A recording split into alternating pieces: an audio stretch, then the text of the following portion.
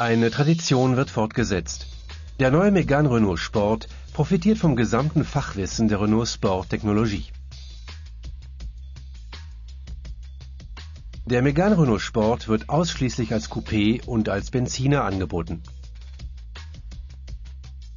Sein unverwechselbares Design ist deutlich durch den Formel 1 Rennsport beeinflusst.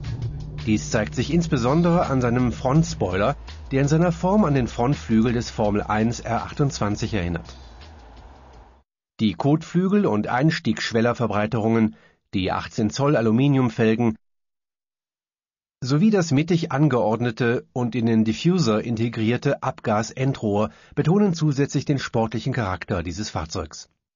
Auch der Innenraum erinnert an die Welt des Rennsports. Schalensitze, ein Lenkrad mit Daumenauflagen, Pedale aus Aluminium und ein Drehzahlmesser mit gelbem Hintergrund, einschließlich einer Gangwechselanzeige mit akustischem Signal. Als erschwingliches Fahrzeug mit hoher Leistung bietet der neue Megane Renault Sport maximales Fahrvergnügen bei optimaler Sicherheit, bedingt durch sein ausgezeichnetes Fahrverhalten und seine außerordentlich präzise Lenkung. Bei seiner Einführung stehen zwei unterschiedliche Fahrwerke optional zur Auswahl.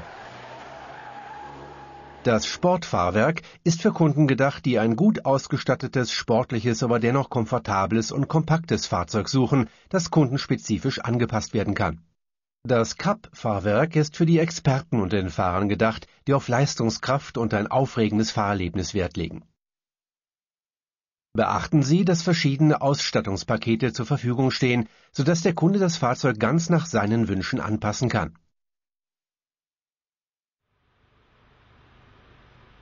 Der neue Megane Renault Sport ist mit dem Motor F4R Turbo ausgestattet, der verschiedene Weiterentwicklungen gegenüber seinem Vorgänger erfahren hat. Zu den Beispielen für diese Weiterentwicklung zählen ein Nockenwellenversteller,